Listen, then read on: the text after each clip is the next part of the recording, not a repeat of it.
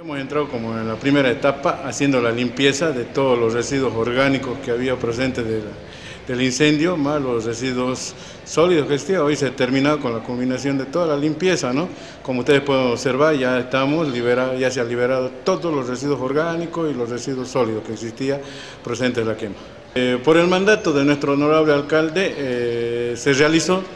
eh, más o menos estamos una semana, pero lo hemos hecho lo más rápido posible porque el alcalde nos pedía que se lo haga más rápido, lo más rápido posible por la contaminación ambiental, por todos los productos percederos que existían acá procedentes de, la quema. Y entonces, bueno, lo hemos hecho lo más rápido posible con todo el apoyo del personal del GAMI, que ya hoy no existe olores, no existe moscas, no existe nada porque ya está todo liberado y agradecer de antemano a la gente que nos tuvo paciencia al sacar, al hacer el carguío allá afuera, que también es incómodo, pero es la labor que tiene que cumplir el GAMI.